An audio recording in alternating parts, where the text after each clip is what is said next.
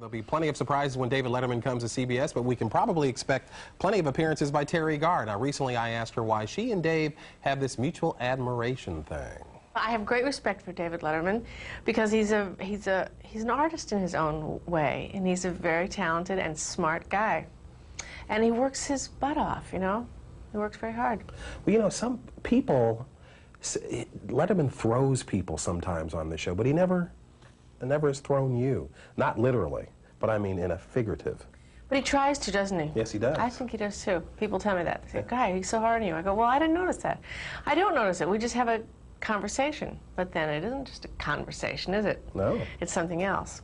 But you know, I'll tell you why I admire him too, is that he really has um, guts to stand up for himself. Because look at this situation. I'm not saying anything bad about any particular networks or anything, but here NBC had him for so long. And they said, no, no, you're not getting this, this uh, Tonight Show spot. We're giving it to someone else. And we're just going to leave you right in there, and you're trapped as a prisoner in that time slot. And he had to have the guts to say, um, no, I'm not. I'm going to move on. And I mean, that takes guts. If, uh, you really have to be strong to do that. Not, and then when he did it, they said, well, we're just going to make this really hard on you. You can't take any characters that you created. You can't have anything that you did on our show, anything you did in our building. You can't take with you, and you leave your clothes there, too.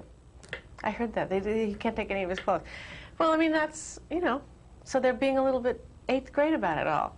When you walked out that first time to sit in that guest chair, what was going through your mind? Do you remember? Well, I think I was very nervous.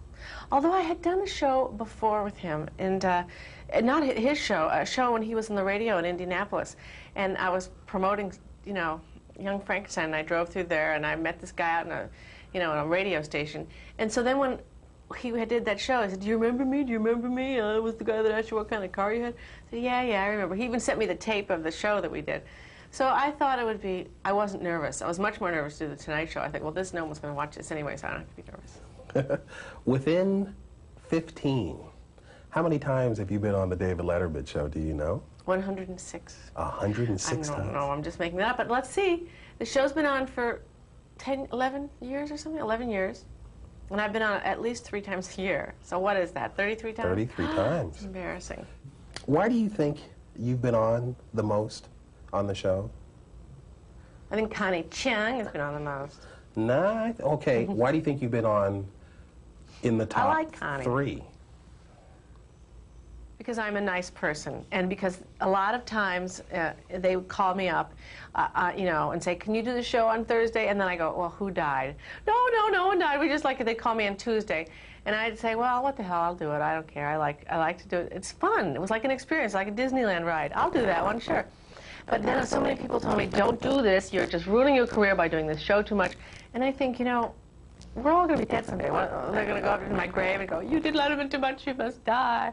I don't care. I'll do it. You know, was I did it because it was fun and because they asked me. I'm sure they asked a lot of other people who had more scruples than I did. How do you think he's going to do it in an earlier time slot? Oh, I think he'll do very well. He's pretty good at this, at what he does. I really think he's created a whole new uh, life and a whole new art that wasn't there before. It was like Marlon Brando recreated acting in this country. David Letterman recreated a, like a host. There was never anyone like him before or anybody like him since. We, uh, now, now. So he, he, it's interesting to watch. I'll watch it. It's like watching a train wreck. Not really. No, it's like watching. Uh, something very, you've never seen before, an alien. Believe it or not, Teri has not been Dave's most frequent guest. That honor goes to sportscaster Marv Albert. And she's coming to CBS as well. She's going to be on Good Advice uh, with Shelley Long this season. She's going to play Shelley's sister. So we get Dave on this network. We get Teri on this network. It's the right neck network to park your body in She's front a, of. a lovely oh, lady. She is so funny. Lovely lady. Way to go, Teri. Let's see how many weeks it'll take to get her on the show. Maybe the third day? We'll Should see. Five minutes before the hour. We'll be right back.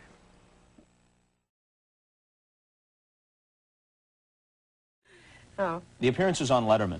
I mean, it's, it's no secret that you're one of Dave's favorite guests. It's a secret to me. Is it a secret to you? Yes. Then why the hell does he invite you back 60 or 70 times? Because no one else will do that show in their right minds. Or don't tell him I said this. There are some people who won't do it because they're afraid he'll, you know, Really? yeah, he'll make them feel awful. I always did that show because it's fun to do, and he's just so much fun. For, I mean, for years now, the years are adding up. I just did that show because they'd call and say, "Oh yeah, I love to do that show. I'll do that show." And people say, "Don't do that show. Don't do that show unless you're going to plug something because you don't want to do this." And I think, "Well, I don't care. I like it." But now I'm only doing it when I'm plugging um, something that I want to have people have people see. Do you get self-conscious when you're on shows like this or on Letterman's or whatever? Of course I do. More, Do you? more you think? Yeah, I do. More you think than the average uh, person does? I, Than the average performer. I don't know. the know average the guy in Des Moines, people. Iowa, doesn't come on the Letterman show. Well, no, I mean, I guess I've become used to it, maybe too used to it, when I just feel like I'm talking to you, and now especially on this show, because I think, well, they'll just edit out all these lulls, and so we'll just Wrong. sit here until we figure out what we want to say, until we're at the height of our hilarious conversation, and that's what they'll use. And the rest of this stuff, they'll just cut it out. That's what I think. So I'm very relaxed. When, Here's when you, to you. When you walk out, when you walk out on a Letterman show, though, Yeah. in front of a live audience, and the thing is live on tape, I mean, the impression would be, here's a woman who's done this so often, and she's such a favorite of Letterman and of his audience, Mm-hmm. that she can just glide right through this without a care in the world. True, or, or do you still get the butterflies? You know, it's it's a very strange thing on that show. I do kind of figure out I want to talk about stuff or some kind of jokes or some kind of notes, and I get them all figured out. And the minute I walk out there, I know David so well that it's like I'm talking to him in the hall. And I said, "Well, what, what about your hair? What about?" And it like it becomes a conversation that's just and uh, Yeah. oh, somewhere in the back of my mind, I think there's cameras on, and we're on television, but it doesn't really register totally that that's what we're doing. It's funny. I don't know. I really should prepare an act and go on the Letterman show, but then what for? I don't care. I mean, you know, it's not what I do, really. Yeah. I just like it. I shouldn't do it so much.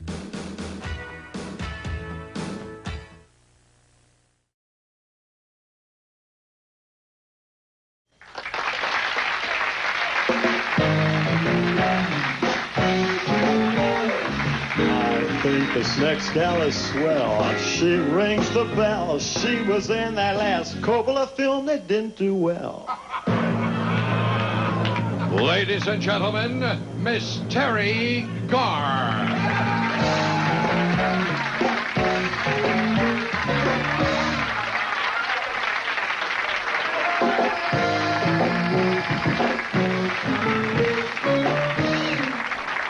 Hi.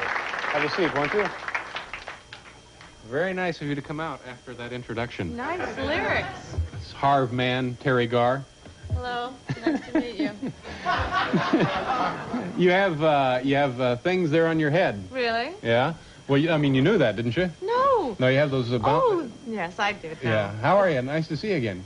Nice to see you, too. I haven't seen you in a long time. Been a while, hasn't it? Mm-hmm. And now you live. Uh, now let's get this straight. You're not living in New York.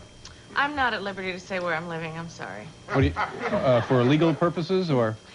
Yes. No, really. No, no. I'm. I, well, yes. As a matter of fact.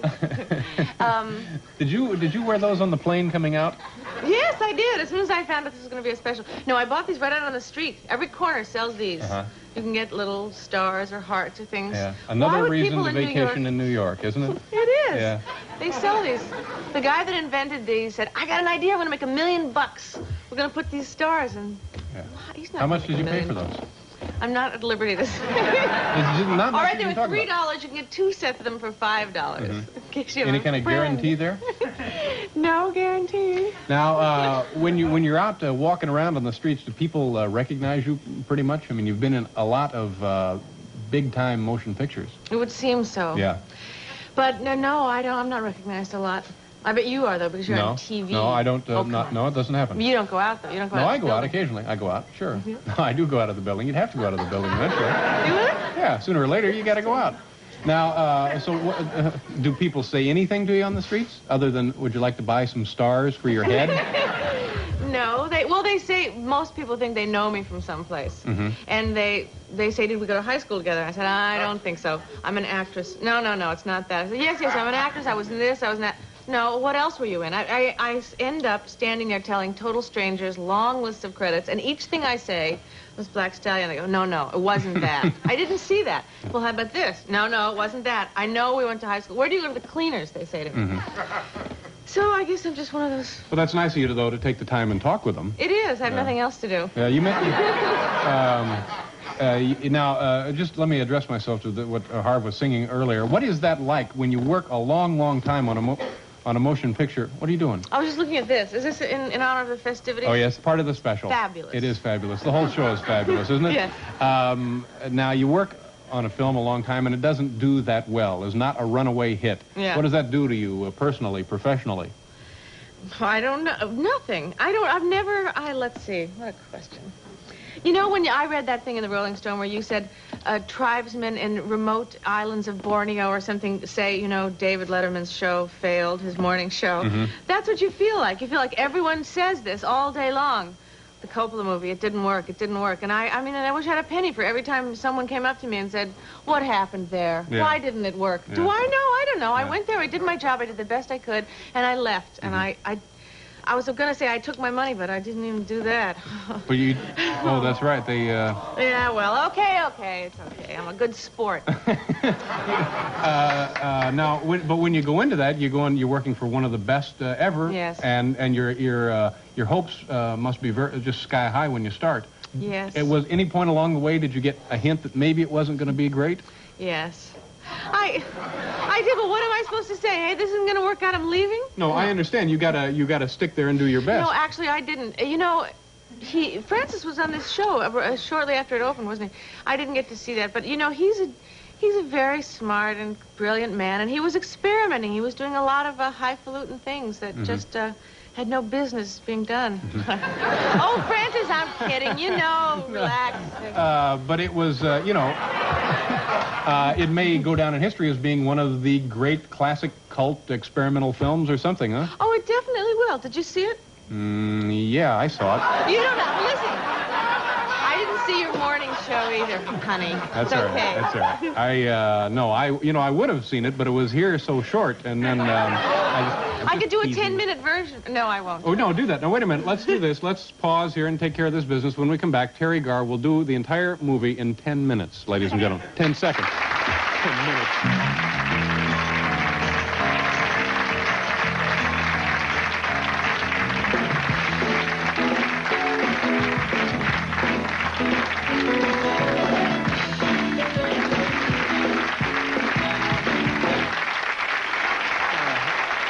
Welcome back to the show. This, of course, is Teri Garr. Do you want to what? Should I take these off? Well, I don't know. What do you think? I think Oh, yes. that's very nice. Let me see what.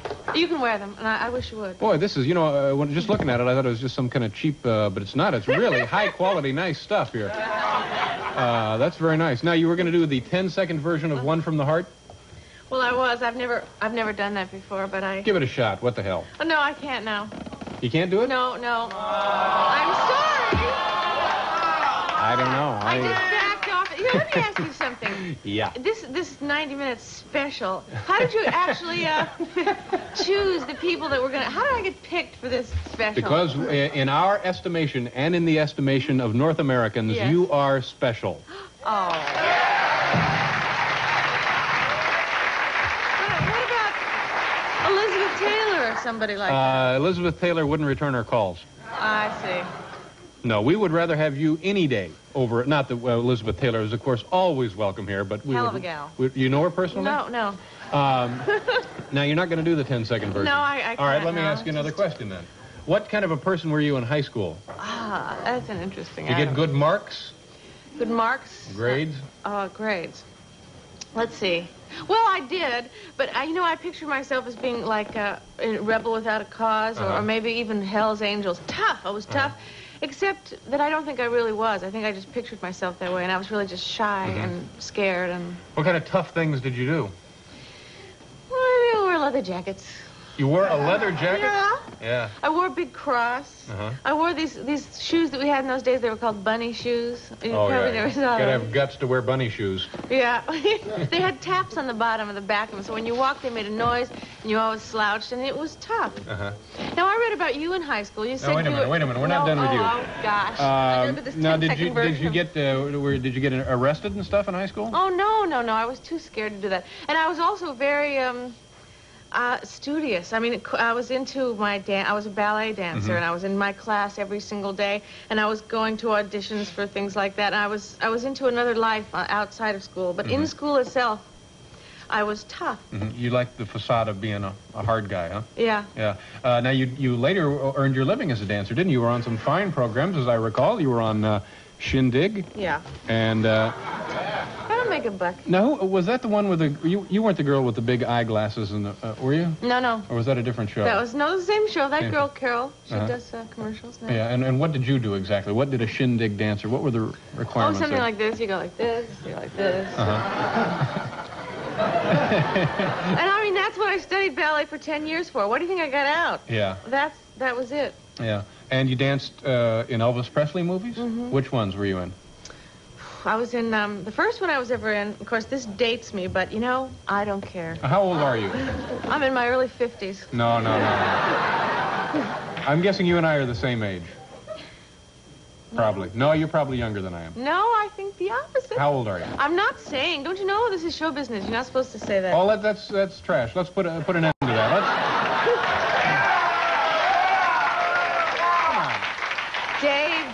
Dave. Show business is not trash. No, I don't mean that, but I mean the theory that if you're in show business, you got to lie about your age. That's trash. You do. Bob It's- Fosse told me It's once. 1982. Come clean. No!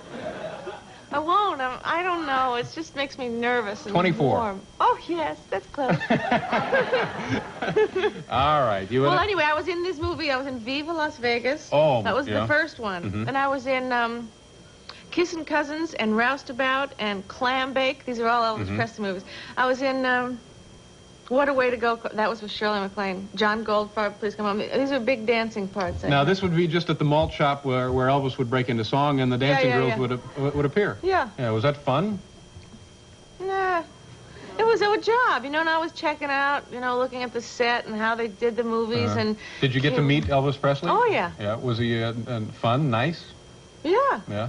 Uh, d- did he know you by name and say, "Oh, good, here's yes, Teri again"? yes, yes. yes. Yeah. He did. You know why I know that? Because um, I was trying to be an actress right away, Mm-hmm. and I started doing commercials. And whenever uh, his boys, these guys that are with him all the time, Mm-hmm. would see me on television, he'd see me on television in a commercial, goes, "Wow, there's our Teri Garr." See, I, I was our Teri Garr. So he was sort owned of me. yeah, he was uh, paternal. He was taking credit for your success then. huh?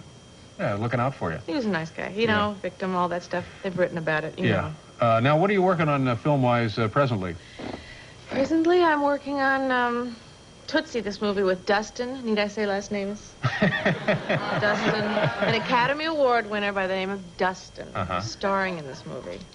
And the movie, can you tell us what this is about? Oh, it's called Tootsie, and um, uh, I play his girlfriend, and we play these aspiring actors in New York, and I audition for a soap opera, and I don't get the part, so he says I'm going to try for this part, and he dresses up as a woman, and he gets the part.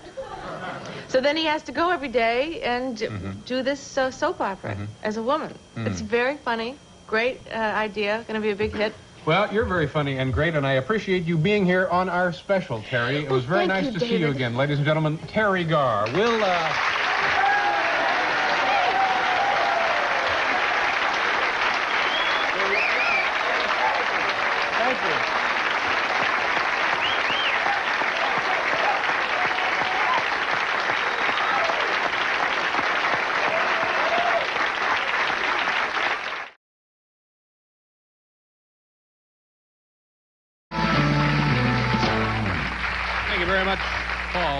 Welcome back to the show, ladies and gentlemen. Emily Levine will be joining us later. And uh, my first guest tonight has been with us once before, and it's a pleasure to welcome her back again tonight. She is a very talented actress whose screen credits include Close Encounters of the Third Kind, Oh God, One from the Heart, and classics such as my personal favorite, Viva Las Vegas, Clam Bake, Clam Bake, and Kissin' Cousins. That's Kissin', no G in the word, Kissin' Cousins, ladies and gentlemen. Please welcome the multi-talented, you know her, you love her, you can't live without her, Teri Garr.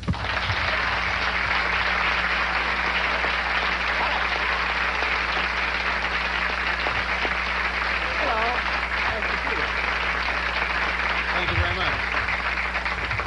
Nice to see you. How are you? All of those dogs. Yeah, They're great. They're a lot of fun, and uh, we enjoy them. They always. freeze up, though, when they get on TV, right? Occasionally, a dog will not perform. I think as uh, is supposed to.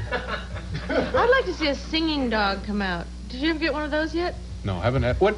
No, A singing dog that would sing "I Talk to the Trees." that'd Wouldn't be that good. Yeah, that'd be good. It would be uh, Okay. Now, be No. interesting and clever. It would be. Well, it would give true meaning to the word juxtaposition. Juxtaposition, yeah. If you go for that. What is the, the meaning of juxtaposition as you know it? I have no idea. Well, now, see, you shouldn't really be using Well, words. doesn't it mean the the uh, something like it shows an extreme opposite or extreme? Uh, I don't know. What is it? Gee, I don't know. You you were the one who brought it up. You you came out here and said that what we have here is an example of Mm-hmm. juxtaposition. I'm sorry. I'm sorry I ever brought it up. You were the one that came out with the dogs. no, no, they came out with their their owners. It's always always nice to see you on the show. That's a great looking dress, by the way. Thank you very much. It's very expensive. Yeah. Not very expensive. and How much all- was it? It's Let's- all a we'll matter decide. of. You always ask these personal things. Well, now again, you brought it up. Oh, is it my fault No, no, it's not- no, no, no, here, I- right? no, no. I get what I asked No, for. heavens, now settle down, for Okay. goodness. Now, uh, we have to go away for a commercial, but no, no, we're coming back. No, but we do want to know the price of the dress since you brought it up. Okay. But, you uh, mean right now? You Now, wanna yeah, Oh, maybe okay, now we could have it. No, I won't give it to you.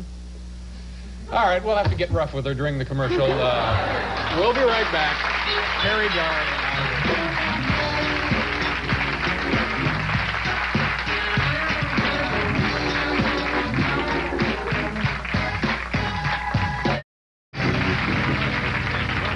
Show. Tomorrow night, uh, Monty Python, from Monty Python, Michael Palin will be joining us. Also, Limited Perspective. This will be good. Uh, I, I know exactly what that is, but, but I can't tell you about it. Uh, it's a little like uh, defining the word juxtaposition.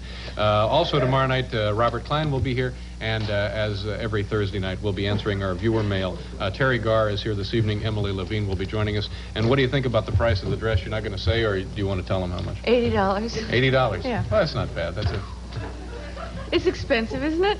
80 bucks for a dress? I don't know. I don't. I wouldn't probably spend 80 bucks on a dress, but No, and you shouldn't. no, it looks good on you. It looks very nice on you. Thank you. Nice dress. Thank you very much. Now, in addition to these uh, movies I mentioned in the beginning, you were also in the the Monkees uh, motion picture Head. Yep. Did anyone see that? No, I don't think they could have seen it because it only played for a week. But I was in it. Mhm. You know, I was in this acting class a- at the time, and Jack Nicholson was in this acting class, but he had never worked as an actor, and he was a writer, and he wrote all these movies, these independent movies for Roger Corman, and he wrote this movie called Head. So a lot of the kids in the class, we all got to do these one little scenes in that movie. Mhm. And my the scene I did was I was uh, I was bitten by a rattlesnake and I died. Yeah. And I, it was a big part. It was my first. I only had one line. What was the line? Do you recall that? Oh, probably something like, "Ooh." No, no, no. uh, it was. I had my finger. The snake bit me on the finger, and they run through, and I say, "Quick, suck it before the venom reaches my heart." That's what I said, and then, then, he, then I die like this, you know. Yeah. Well, Hmm.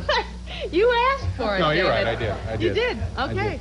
So, Did you? Now you grew up there in uh, North Hollywood, wasn't it? Went to North Hollywood High. The what were they? Bearcats, tigers, cougars, Huskies, huskies, yes. North Hollywood High, who, who, huskies. Uh, did you? Um, uh, well, that's why you don't know the meaning of the word juxtaposition. No, it's just a joke. What just a exactly joke. are you implying? It was just a silly joke, and I'm sorry I brought it up. Now, did you always want to be in uh, show business when you were there? Um, I yes, I did. I, I was a dancer. and I wanted to be a dancer, so I went to dancing school and I was in ballet companies and stuff like that. And I wanted. That's what I wanted. How far along in, in ballet dancing did you get? Well, I was in a couple of uh, com- ballet companies. I was in a little company in San Francisco, and then I was in some nice companies in L.A. Uh, David Lichine had a nice little ballet company. But you know, the first job I did was in West Side Story with the original cast. I might be dating myself, but it was the road company, all right? And I, I danced uh, real hard in that, but I had one line. And when I saw the reaction I got from one line, how easy it was, I said, well, I got to do this now. This is. Uh-huh. And do you remember that one line? Yes, this I had a lot of good one-liners. My first line I ever spoke on stage is I said, "So I think somebody asked me a question. I don't remember what the question was, but my answer was, no, thank you, ooh, you." Do you like that? What is, what it's is supposed to be in English, you know. oubliou? It's like jazz talk, and we were Oh. in the drugstore, and we were being cool, and Oh, yeah. it was right. As in fact, well, Kind of, yeah, the way snotty street kids might talk. yeah. Well, did you see West Side Story? Yeah. It was in a vernacular that was a certain kind of thing. It was a hmm little slice of history. Yeah. You al- you also had a uh, uh, you went to a high school where they had a Teri Garr Film Festival recently, didn't you? Well, oh, I went to my br- my brother's kids' uh, high school to talk to the drama classes. Well, now, which brother is this? I know you have two. My brother Ed, my brother Ed, and Is he's this- um, surgeon. This is Ed the surgeon, The best surgeon since Jack the Ripper. Well, he has a. That's just That's a a joke. joke One of home, his friends Yeah. made up a thing like that. Yeah. It's, a, it's a joke at home, yeah. But he has these two kids, and they uh, they go to high school. Danny and Lisa. And I went to their high school, and I spoke to the drama class, hmm and I said, please don't ever try to do this. Yeah. And and what kind of questions would the drama class ask you? Well, you know, they all want to know, and I don't know why they're asking me, but they all want to know, you know, how do you get to be famous, and how do you get to get, get people to ask for your autograph, and what's it not like to be recognized, and that's what they want to know. What is that like, though?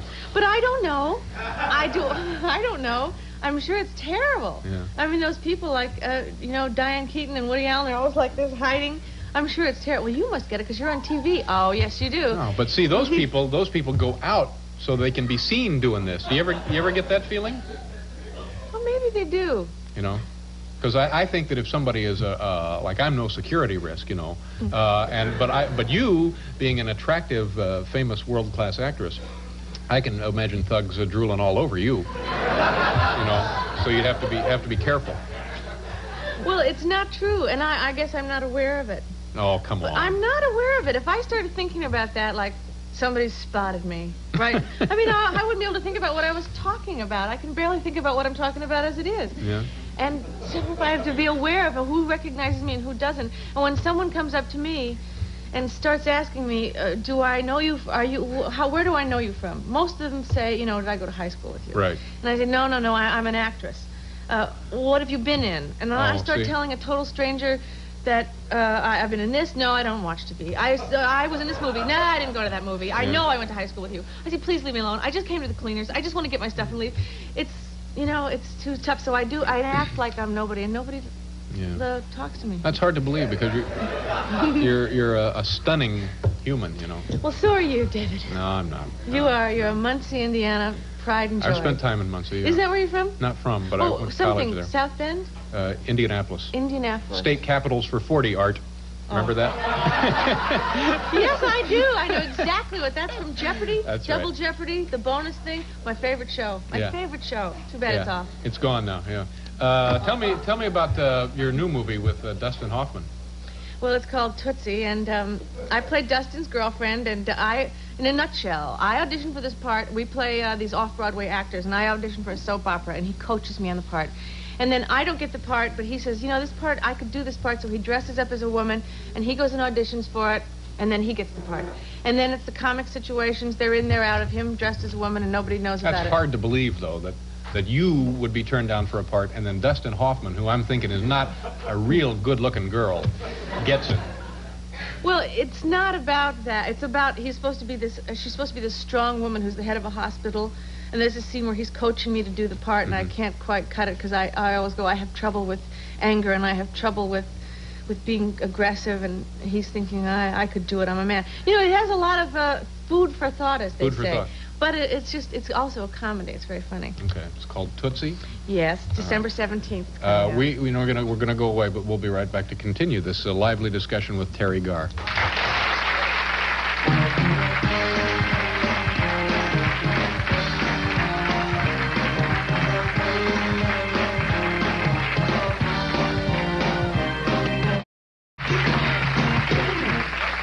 Turned out to be what? What did you say? Nothing. He did. He turned out to be. Hi, we're back. Uh, Teri Garr is here, and uh, you Tootsie, and uh, boy, this dress is distracting. I'm, I'm telling sorry. you, be careful there. Ooh, um, something about the juxtaposition of that. That's um, uh, now when you do one of these big-time, powerful motion pictures, does everybody get along well, or is there occasionally disagreements? People fight, like hypothetically, you ever get a star fighting with the director and so forth? You mean like in Tootsie or something? Did that happen on Tootsie? it, it- well, no, it didn't. They just both had uh, their own ideas. And, uh, oh, hi, Paul. hi, Paul. Something, something the matter here? Uh, no, Dave. I, I just wanted to come over and say hello to Teri. Hi, Teri. It's nice to see you. You know, we go back a long way, about five, six years, and uh, It's true. yes. And uh, can I embarrass you? Can I embarrass this girl just for a moment? I gotta say this. She is very happening kind of chick, and I mean that sincerely. I really, I really do. This is embarrassing. Well, oh, thanks, Paul. Well, and I think that you and the band are just wonderful too. I really think they're great. Thanks, sir. Yeah, Yeah, they're great. They are. Yeah, are. they're really great.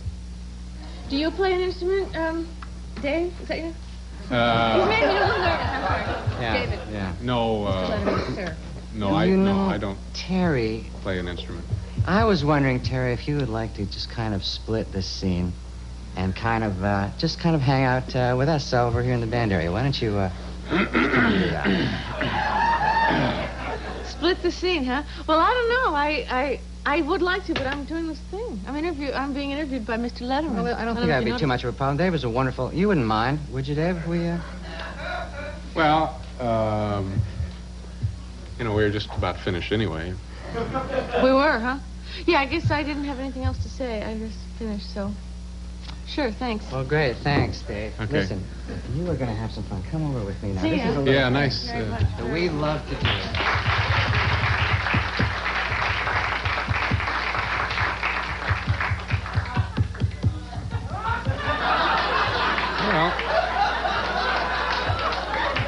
guess I can uh, I can do this uh, art card piece. This will be just as funny as having Teri Garr on. You know, you know, not anyone can be a guest on our program, and so here's a look at a few few of the people you won't be seeing on our show. You, you won't be seeing this guy. Uh, he's from Royal Oak, Michigan. Uh, he is.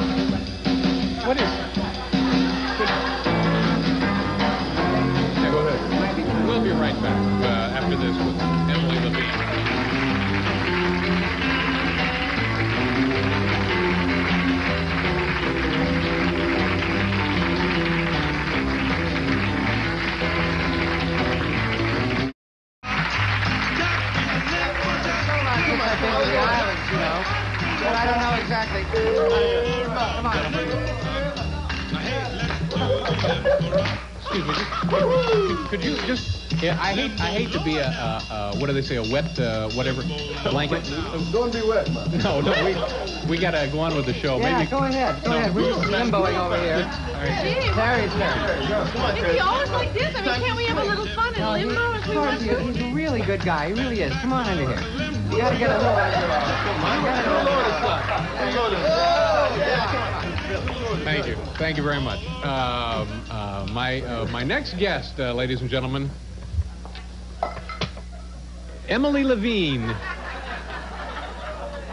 is a very funny writer who has written for several TV shows and has performed on television and in clubs all over the country. Ladies and gentlemen, we're delighted that she is here tonight, despite a terrible cold and despite having to follow that. Please welcome a fine stand-up comedian, Emily Levine.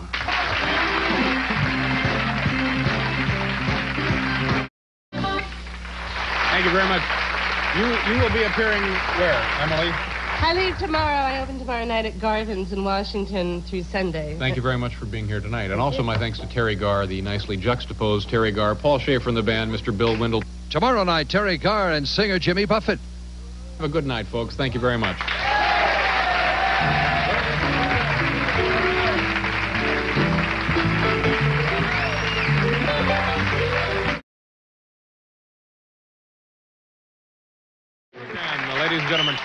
Don't even consider going to sleep at this point because you don't want to miss Mr. Fix-It. Now, uh, my next guest has been nominated. Uh, this is very exciting to have this woman here again tonight. She has been nominated for an Academy Award as Best Supporting Actress for her role in the motion picture Tootsie. She is also on the cover of Ms. Magazine and has just finished a new co-starring, uh, finished a new film which she, in which she co-stars with uh, Mr. Michael Keaton, called Mr. Mom. We're delighted to have her back again. Please welcome Teri Garr.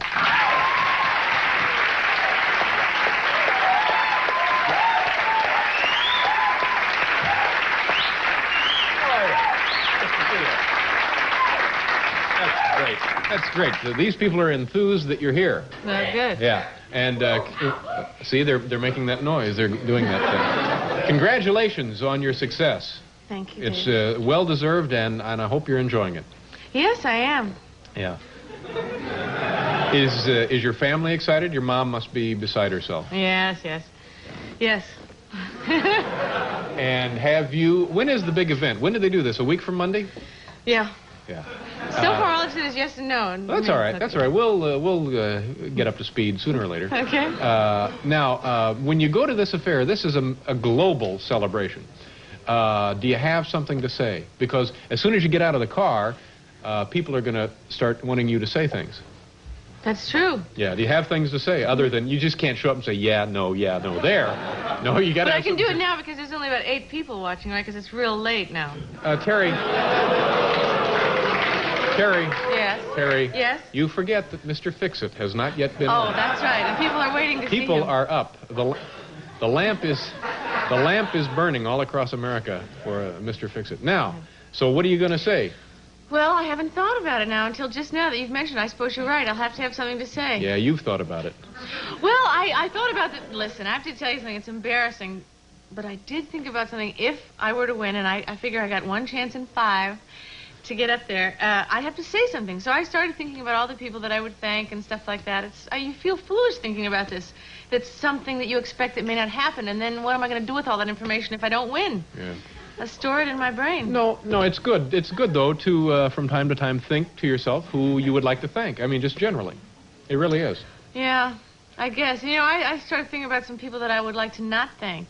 No, no, you don't. Yeah, I know. You're not supposed to do that. You're supposed to be gracious and everything, but You- you a ha- human. You have a bad attitude about this. A bad attitude? You should be delighted. Right. You I don't. am delighted. I am. Are you? Yeah. Now, have you picked, selected something to wear? Yes, I, I did. Okay. You know, a lot of a lot of people say to me, "Congratulations on your nomination. What are you going to wear?" Yeah. That's almost what everybody says, as for especially women. That's what they say. What are you going to wear? Mhm. So I don't know. No, you know, It's a week away. You know damn well what you're gonna. You got it. It's probably laid out on your bed at home.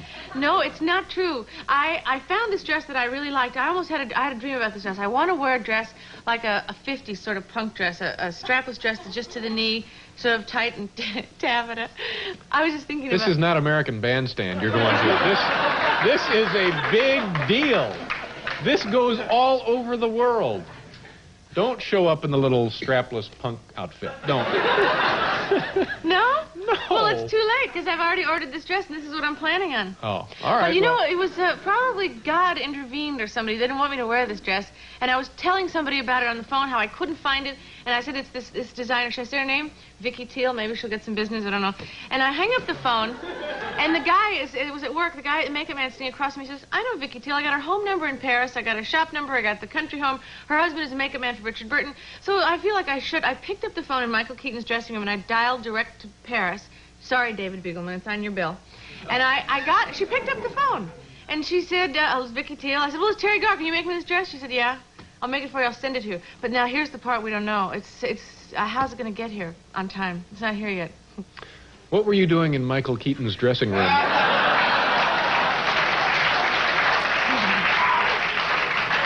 We were discussing the script, the fine points of the script. Well, to tell you the truth, Michael Keaton, because he is a man, had a phone in his dressing room, and I did not have a phone in my dressing room because I'm just a girl, you know? But I don't mind. I'm not bitter. It's not important to me. I'll make my phone calls where I can. Listen, uh, uh, you can use our phone. I, you. know, I'm I'm excited for you. I've never really, uh, not that I know you well, but I, I've never really known anybody who's been nominated for an Academy Award. Let me ask you about the. Were you surprised that this movie got this much, generated this much heat? Tootsie. Yeah. Yes, I was. I. Can I just ask you something? Did I spit on you when I said Tootsie? Yeah. Tootsie? I don't know if you can see it. It's in the light. I saw it coming out of the light, and there was nothing I could do, so I. I said, okay, I'll try and take it in the tie, and uh, You see, right there. I think they made a Okay. mistake. I'm not the type of person that should be nominated. I mean, I Oh know no, I you, no, them that I stop it. No, Oh. no, you're you you are world class. You deserve this nomination, and I and I hope you win. Well, thank you. I mean, you're you're part of the American uh, acting industry. I mean, you are.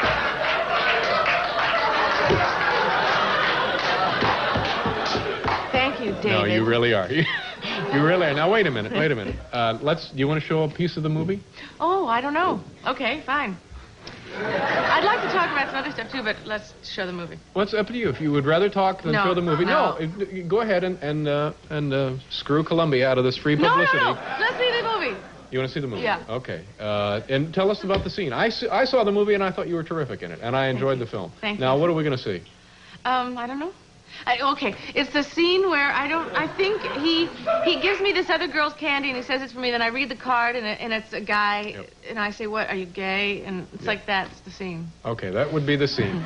and uh, from the motion picture, the runaway hit of the decade, Tootsie, uh, starring Ms. Teri Garr, Academy Award nominee. Take a look now, won't you? Teri Garr. Uh, and on the cover of Ms. Magazine, that's you must be thrilled about that also. Mm-hmm. Yeah. Now tell tell me what t- tell me what you uh, used to do with your dog and your brother and so forth. No, no, stop it, please, stop it. Now, Teri has something she'd like to say. Teri.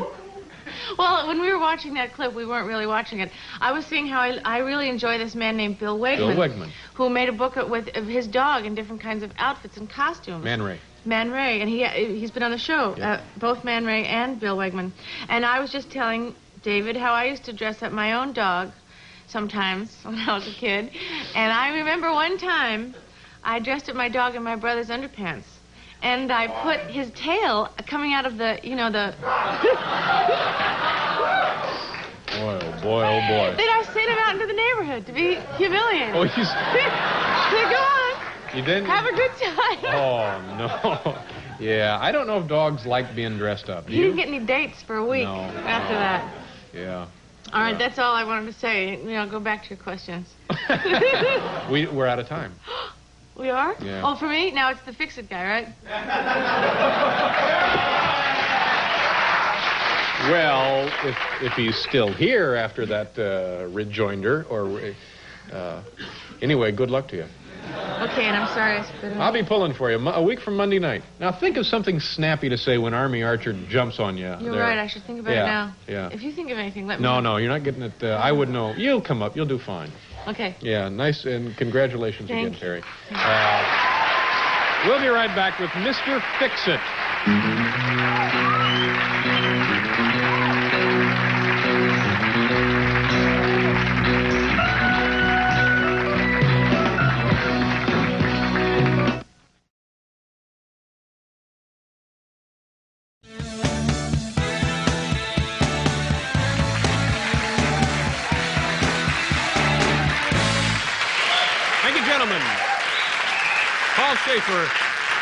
The band, uh, folks, and uh, we're uh, happy to have them. Uh, my my next guest here is. Uh, it's always a pleasure to welcome her to this program. She is a uh, fine actress who is. Uh, last time she was on the show, she was just getting ready to go.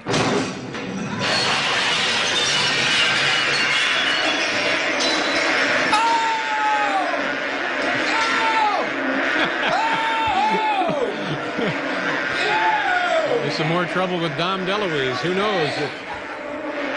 All right, I got him. oh, great. Thank you. You got some. Uh, They're all in here. You got some nasty. Not to worry. You got some nasty looking. On with the show. No longer have a watch problem on this show. Jeez, John, you didn't have to do that, but I'm Nope, glad you did. Glad I did. Thank you very much, buddy. David, thank you kindly. Come back and see us anytime. I'm gonna get rid of these. All right, thank All you, right. sir. Job well done. The Wasp Show. What a guy, huh?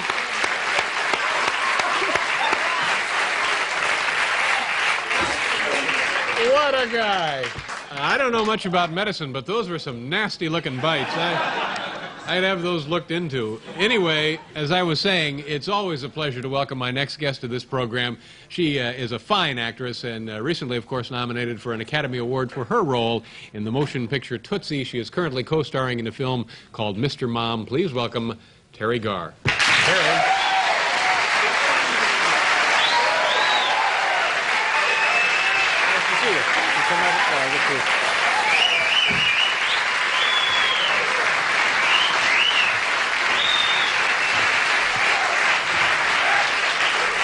See, this is this is very nice because on this program we have two people that the uh, the audience likes really well. You and John, they, you could tell that they like you very much. Thank you for being back. I'm, I'm sorry you didn't win your Academy Award. I didn't win? No, you didn't. But uh, that must have been a very exciting night, huh? It was. It was very exciting. Yeah. Is it fun, exciting, or or not fun, exciting? Well, it's fun, exciting. It all goes by so fast. I mean, I'm just like a, a regular person going there, so. But everybody is, you know, in the end. Even Paul Newman. I mean, you get nominated, you go, yay, I thought I'd be nominated. And then you, you realize who's going to win. Uh, Really, you know. But to, You don't really know, do you? You don't really know, but the closer it gets to the actual ceremony, the more you think you've got a chance. I mean, whether I Sure mean, just have this blinding reality is not there. And I know. I mean, I thought I was being a fool, but I, I'm sure they did that to Paul Newman. I kept thinking of him because he was working on some movie. He was directing a movie, and they didn't think he was probably going to win, but. His, his friends talked him into it. He, got a he chance. was, he he got was, a chance. He was very good in the verdict, I thought. Oh yes, he was Yeah, he was great. Just put your feet down. Don't be sitting like that. Put them, put 'em- put 'em down. Sit down like an adult. All right. Thank you. Now, He's uh, so strict. but I'm sorry you didn't win. I saw you on the telecast. You looked great. You Why couldn't I sit that way?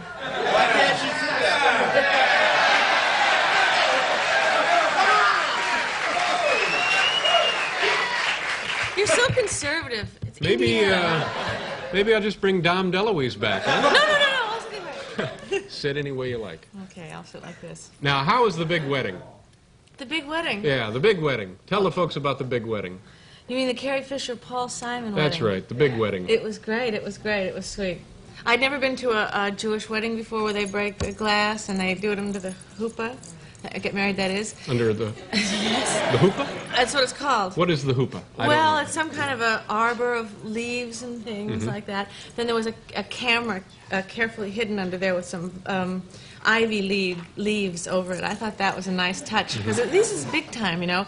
Paul Simon, Carrie Fisher, and then they had ivy leaves on a little video camera behind the. Uh, it was cute. Uh, they're, they're taping this for probably a cable special, right? I'm sure it's worth a lot of money. Yeah. Now, who who are you friends with?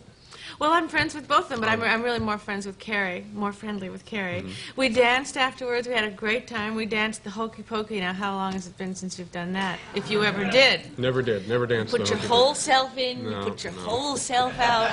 It's a fabulous and freeing dance. and you shake it all about. so stupid. Uh, was it a, a big deal? It must have been hundreds of folks there. Well, no, it was about 20 people that came to the actual wedding.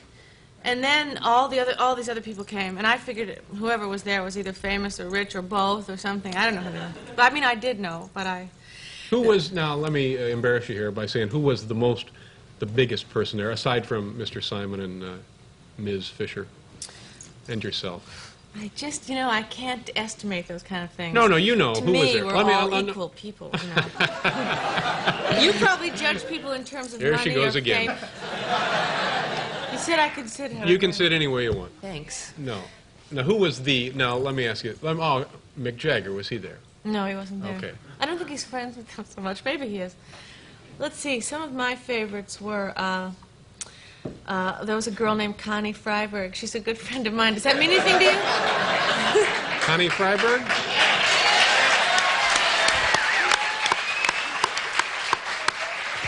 She's the best. She is the best. She's She's terrific. hysterical. Yeah. Now, who else would you be interested in? I don't know. I thought it was a bigger deal, but 20 people at a at the. Oh no, then lots of people. You know, hundreds of people came later and stuff. But the the prestige group, the 20, were the ones that got to go to the wedding. Well, you know, it was the family. It was Debbie Reynolds and Eddie Fisher and um, their grandmothers and all that sort of Yeah. stuff. And it was. It's fun, though. Yeah. Well, that's good. And. Paul's son, uh, Harper, was there. He was great, you know, because he he uh, Harper, later. Harper, Simon.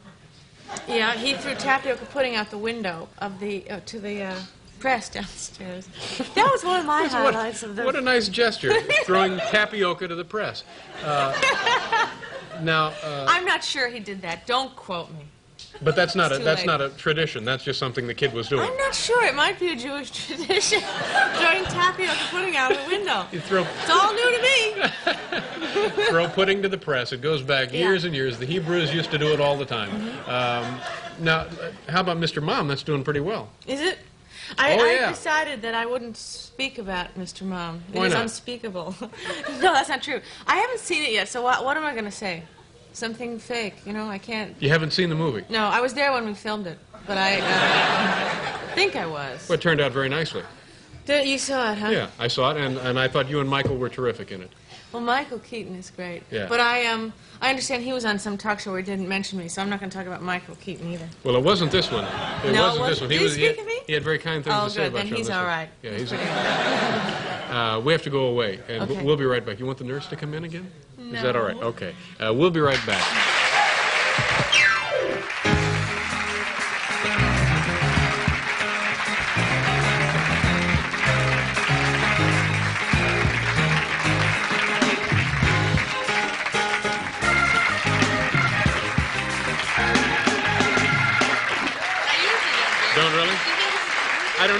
I don't know. What what what plane did you fly back from Europe? Uh, uh, Air France. Was it the? Uh, No, I didn't take that. have you ever taken that one? No. Oh, that's fun. I'm afraid to take that one because Take it's it once. against the principles It's of, against the uh, principles, but it's it's still fun. Is It's- it? Oh no, took no, it's not against the principles of aeronautics. It's against the principles of environmental. Uh, Oh, uh, is it? Conservation. Yeah, they say that it's burning off ozone and so forth. Great. But I've heard,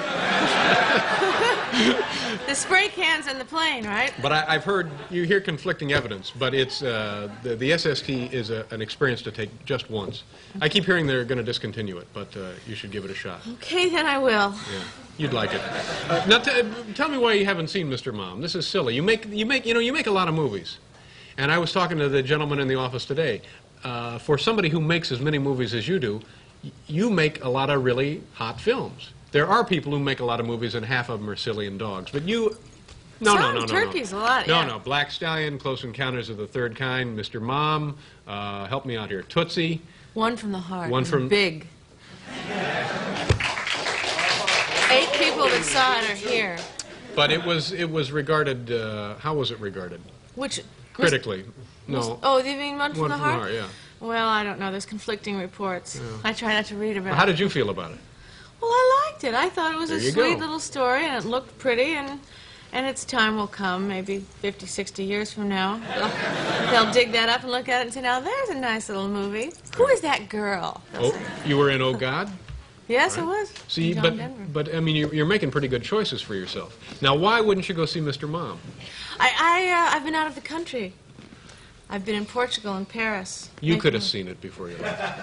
I, uh, I couldn't have. They didn't. No, it's not about me. Listen, that movie's about Michael Keaton. Is that his name? no, it's about. It's their movie, and I know the movie wasn't finished before I left. But I'm sure they would have invited me. You should go see it. It was, okay, it's a I nice, will. was I'm nice going to go see it. How was Europe? Europe was nice. Uh, we filmed in Portugal and in in Paris. What part of Portugal? Lisbon. Did you get up to Sintra? Yes, I did get Yeah, up to Sintra. I've been to Sintra. Have you? Yes, ma'am. It's a small world. It's a tiny little place. Did you go to the little royal uh, buildings up there? Yeah. That's where the royal family summered, you know. Yes, I knew all about it. I yeah. about Okay, now. Uh. What you got here? I have the uh, Teri Garr Media Blitz 1983. This is uh, from a recent. This is from uh, the New York News Sunday section. Teri Garr. Whoa. This is from this month's Esquire magazine. Terry Gar And Michael Keaton. and Michael Keaton. This is from. This is from Us Oh, magazine. my favorite magazine. Garr Wars. No, no. Take a look at the other one down here in the uh, over here, boys. This is. You know, I took yeah. this picture as a joke. That's no joke, Teri. and, uh, well, I've lost my place. I can't find you in this one. Never mind. Glamour never mind. magazine. Oh, here you are. Whoa. Oh, my. Oh, my. Yeah. And one more. This month's. By the way, this is your complimentary take home copy of American Ways, the magazine It's of not like I'll American anything. Airlines. Here's Teri Garr. Very nice.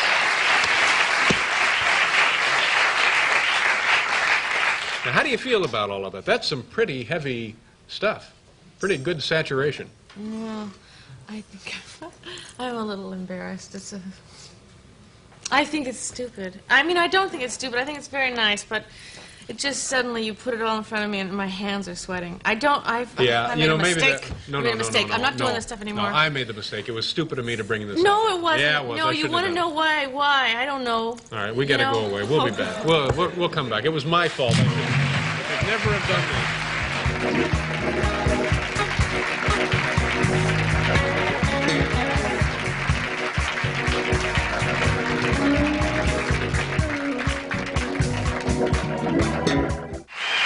Thank you, folks.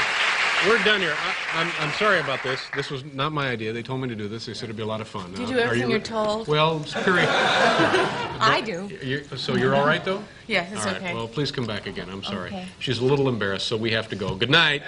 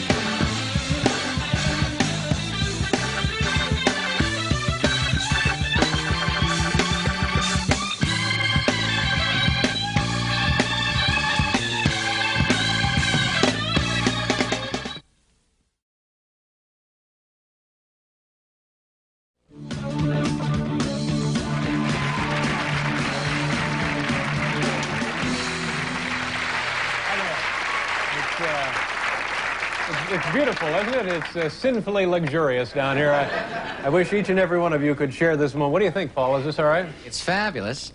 It's like a garden party, you know? Just a little bit. Uh, I was on the train again last night. Everybody I run into asks me to uh, give uh, you their best. They're, you're very Well- popular on the train, Paul. Thank you so much. Yeah, And isn't it? And, and how are you doing on the train? Well, it's all right. It was very crowded last night, and uh, I was sitting next to one of these guys. Every few miles, every four or five miles, the guy would do this. Nice. That is a nice, Yeah. nice move, I think. Yeah, Yeah. that's uh, that's no good. But it's uh, Well. so uh, we're gonna have to run him down to the lab. Okay, we have some more. We have uh, more selections. Uh, gee, and you know I don't feel stupid. Um, we we may have to have another vote on that, by the way. Okay, uh, tonight. What do you think? We have two wonderful guests, uh, equally fine humans in their own right. uh, would you like to see as our first guest tonight the lovely and talented fine actress nominated for an Academy Award, Dr. Ruth Westheim? No, no, no. Miss Teri Garr.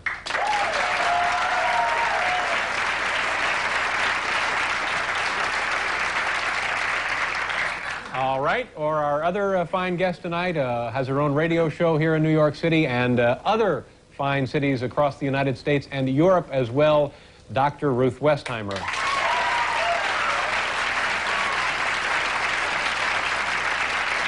All right, what it, is it?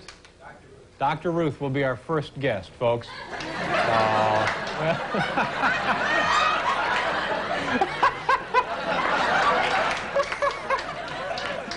Well, bless, bless, uh, probably seen the last of Teri. Well, uh, okay, Dr. Ruth will be our first guest. Let me get the uh, information here. Uh, she is the author of uh, Dr. Ruth's Guide to Good Sex and host of her own radio show uh, called Sexually Speaking. She has been uh, recently inducted into the New York Academy of Medicine, and we're delighted that she could be here with us tonight. Please welcome Dr. Ruth Westheimer.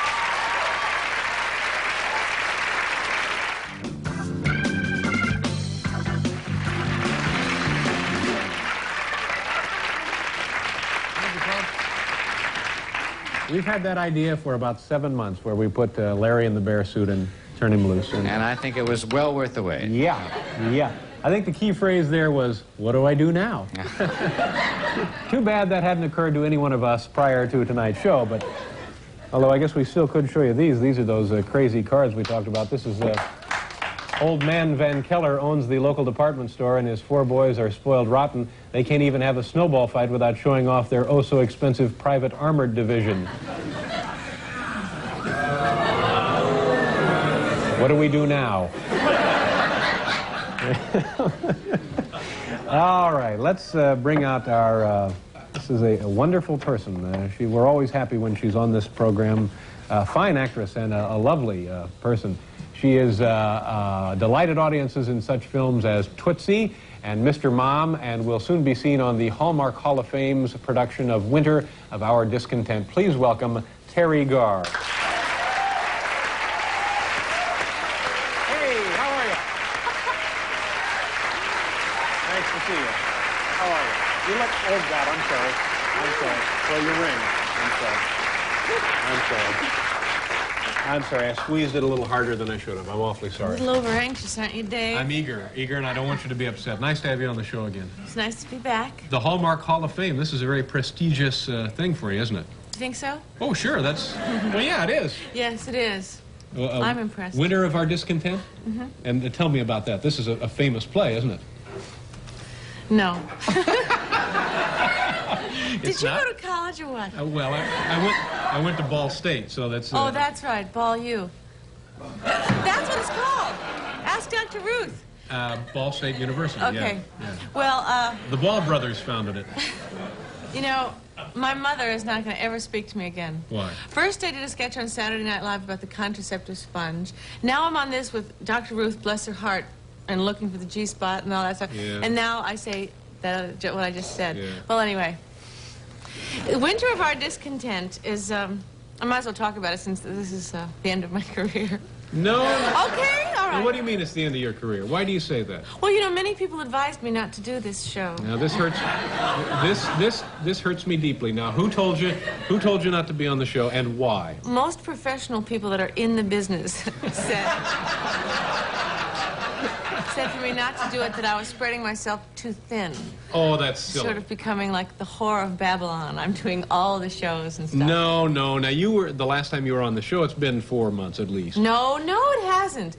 I was just, it was a month or so. But anyway, I, uh, most people told me not to do it. The only person, my doctor advised me to do the show. So, so I'm doing Based on what? Why, now, why did you go to the doctor? Are you feeling ill? Well, please don't ask. Oh, not feeling well? No, I'm feeling fine. All right, look. I now it's the can of peas that's opened up. I might as well spill it. Okay, please I do. uh, had these things called lipomas removed from my body. Ooh. It's completely stupid to, to talk about, but that's so. I so I went to a doctor to have him look at it. I went to several doctors. It's nothing serious, is it? No, it's nothing serious, I'm sorry that you brought it up. But when you say, "Oh, you were, we're at the doctor, and let's not talk about it," then it becomes much bigger than it should. That, that's right. So I've done it again. I've screwed this up, haven't I? Yeah. Uh, But anyway, he thought that I should come on this show, and boy, was he wrong. no, no, no. Now, come on. Now, it, it's I'm right. being mean, aren't I? I? There's no reason for me to be so quite so hostile to you. Well, I get the feeling the last time, especially, that you you, you don't like being on the show. You don't like me, and uh, now is are you? Ooh. Sorry. Uh, Just checking. I have some lipomas I'd like you to look at.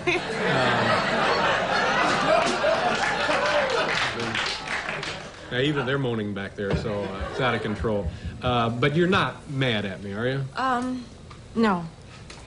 I guess not. I mean, you only you only can do what you can do.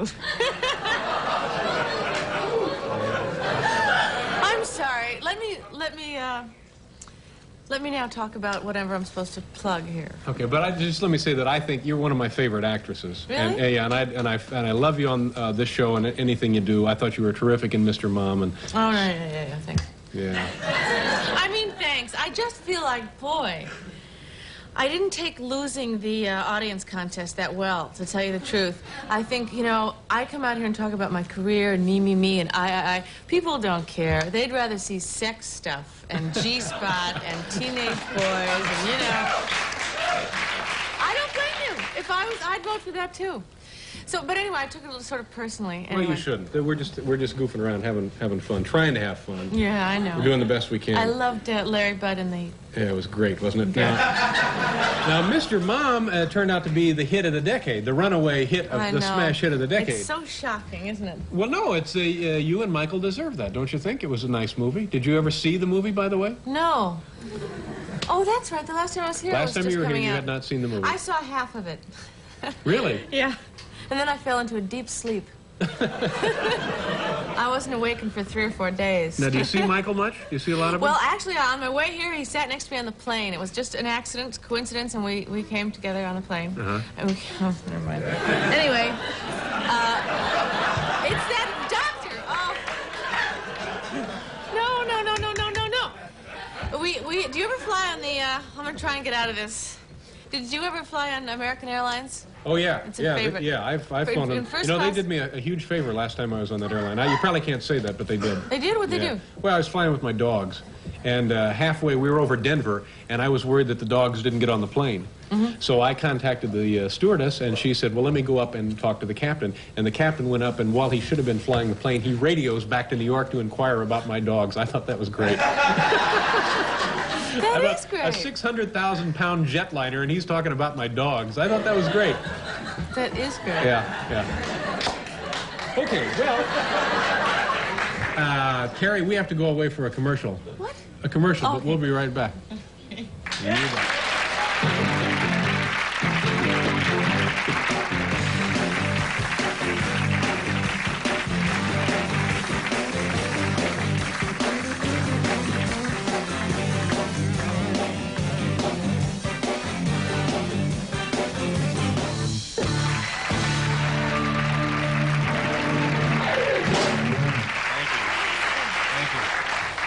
has just written me this note, a novel by John Steinbeck. Stupid. Thank you. I stand corrected. I'm sorry about that. now, uh, this is the winner of our discontent. Now, tell me, I'm sorry to interrupt you about your airplane story. You and Michael are are on this airliner flying. Where are you going? From LA to New York. Yeah. He's here doing a top secret job, something Whoa. for the government and Woody Allen. And um, I know it's strange, but anyway, um, it, I was going to tell this funny story, and now it seems like it's probably not that funny. But um, they serve. Uh, they have at the end of the. Oh, it's so I can't do this stuff. What's the matter? Well, I mean, I, I think of stuff that I'm going to say, and then when I, I, I'm much better when I don't plan it. People say you should plan what you're going to say. When I plan what I'm going to say, I feel like, okay, here I'm going to say a story. What's fine? It's going along just fine. Oh, I can tell. It's just going along fine. Well, anyway, they serve ice cream at the end of the dinner on the fir- on the plane, and it always says the ice cream festival. Right. So Michael and I were very happy that we were in time for the ice school, ice cream high school. you see how I can't do it? We were in time for the ice cream festival, and some of the jokes that we made up about it were after they have the ice cream festival, they have a conga line to the plane about the ice cream, and the ice cream festival is a result of the great ice cream wars of 1810 that lasted for three days, and now they have this, this festival on American Airlines. that's all. There you go. I'm no good at that. No, that's great. Yeah, thank you. I'm encouraged. I'm very encouraged. Oh, that's good. That's very nice. Yeah. Now, there, you know, I read something uh, about you this afternoon that I thought was sweet and also kind of sad. Your mother is a uh, has been uh, most of her life a wardrobe mistress, Yes. right? She, so she's worked in show business uh, on and on and on. Oh, and when yeah. you were a kid, she provided you with clothing, didn't she? Sometimes she did, yes. She's not speaking to me anymore, though, after tonight. oh, mom will get over that. I'm think? not sure. What kind of stuff would uh, she give you to wear? Well, one particular thing that she got me to wear, this was borrowed clothing. She worked, used to work on the Dinah Shore show, and uh, I was going to my high school prom, and I really wanted to wear one of those dresses from Lerner's like all the other girls were wearing. They were sort of these net dresses, Sure. strapless, beautiful Yeah, thing. I have one. You, I'm sure you do. But um, she borrowed this Christian Dior dress from Dinah Shore's closet. Dinah Shore never knew, and I wore it to my prom. Yeah. Now that's that's uh, probably as a kid exhilarating and in some way not so exhilarating. I was completely, I didn't want that. I wanted, you know, a dress, a jerky dress. Yeah. And especially since I had to give it back. Any other dresses that you wore from other no, folks? I'm not so crazy about that story either. it's not that thrilling. You know what I would like to know about, uh, you live here in New York? Well, Yeah, of uh, course you do, because you do the show here. Why are they? Why are they? Um, no, you may not know this across the country, but so, in the South Bronx in New York, it's very. Um, you know, it looks like Dresden after the bomb. It's just a, a mess. And I've been seeing this thing on the news every night about they're going to the South Bronx and they're putting decals in the windows and flower pots and stuff. Now, to make it look like people live there or something. What, do you know anything? Why are they doing Well, that? it was there was a consideration for allocating a sum of money to put up these facades so that people would not be, as you suggested, depressed when they looked at uh, what is not uh, a thriving community now. And and they, they thought by doing so, now there there's not a bad reason for it, Amazed. but they thought by doing so that people would say, oh, I see, it's okay and it's being re- re- renovated and we can invest in this area. Uh, they thought they would be tricked into investing. but but the but but the, the, the the problem is if you're going to take the money just to put up the decals, why don't you take the money to actually fix up the area? Exactly. Yeah, yeah. I wish I could have been at that meeting where someone, you know, like 12 people are sitting around a table and someone suggests, we'll trick them. We'll have a big news conference about how we're going to trick them. Yeah. And, no, and everyone went, yes, good idea. Let's go to lunch. No one thought about it. you know, it amazes me about life. Well, I don't know if that has that been rescinded. Has that has that gone through? They They're are doing, doing it. They How much to money pour are they money into spending? this. All right. Well, uh, we'll be back with uh, Lawrence Spivak here on the Meet the Press in, in just a minute. Uh, we have to go away, Teri.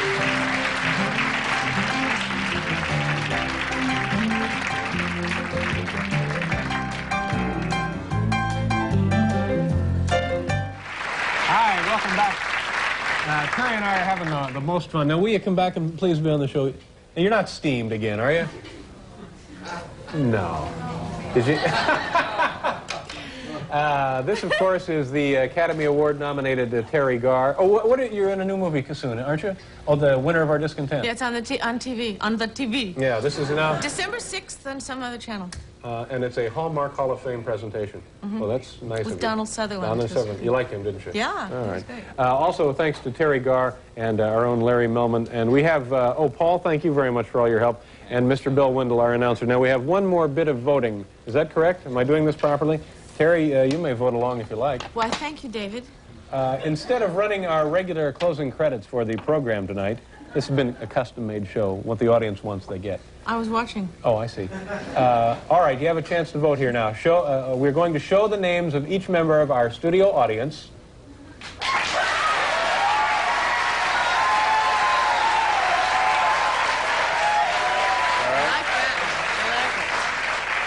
We're going to uh, just end the program early and let everybody go home. No contest. no, it's not a contest. All right, how do we do this? Is everything ready to go for this? Okay, uh, thank you very much. Uh, we'll see you tomorrow night. Uh, who's here tomorrow night? Andrea Martin. Andrea Martin from SCTV and Gaylord Perry. Have a good night, folks. Thank you very much for helping us.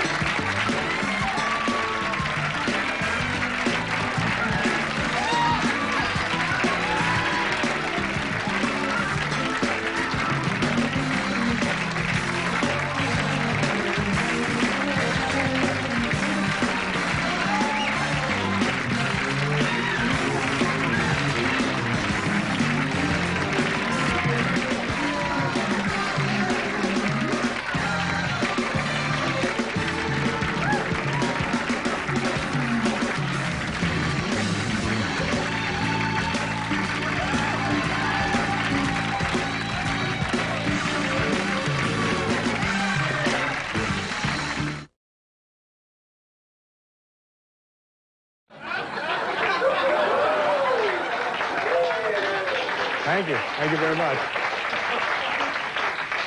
Okay, the question is probably the uh, most unbelievable crime of all. How did this man, Kip Hogan, pay only $1.98 for over $400,000 worth of fresh vegetables and salad?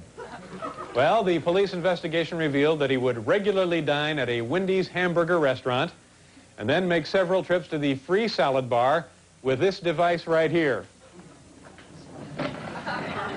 each time filling the steamer trunk to capacity. Let me show you how it would work. Just go ahead and turn it on, if you will.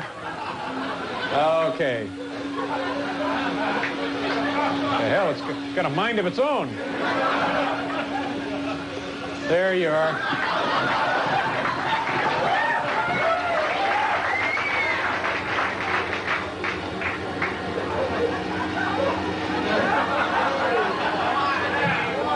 Gentlemen, don't get anywhere near this thing. It's a little too powerful.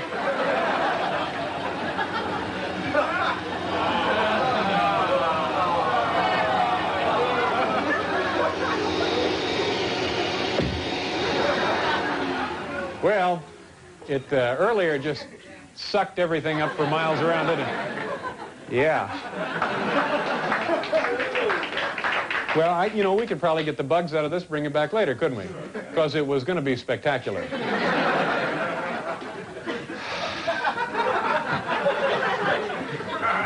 I'm losing the will to live. Thank you. Thank you very much. But, but by the way, you're welcome to come on down here and pay a visit to the salad bar if you... Uh, we got a good show uh, for you. Ladies and gentlemen, uh, uh, hang on to something because in a moment or two from now, Teri Garr will be out here, and uh, we have a wonderful show for you.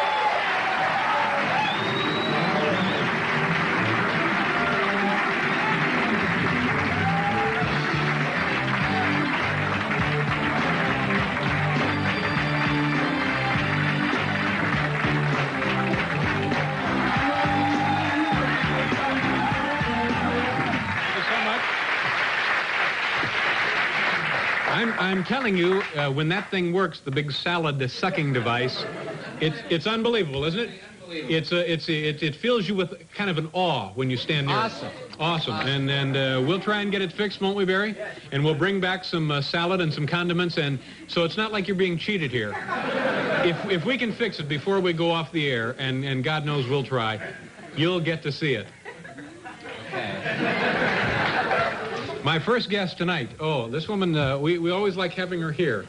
Uh, she's a terrifically talented actress. She received, of course, uh, an Academy Award nomination for her work in the motion picture Tootsie, and her current project is a film entitled Firstborn, which is still in production. We're delighted to have her back with us tonight. Please welcome Teri Garr.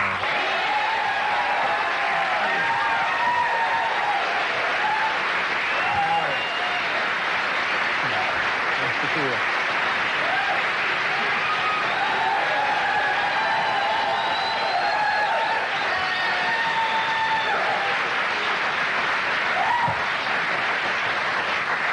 Thank you very much for being here.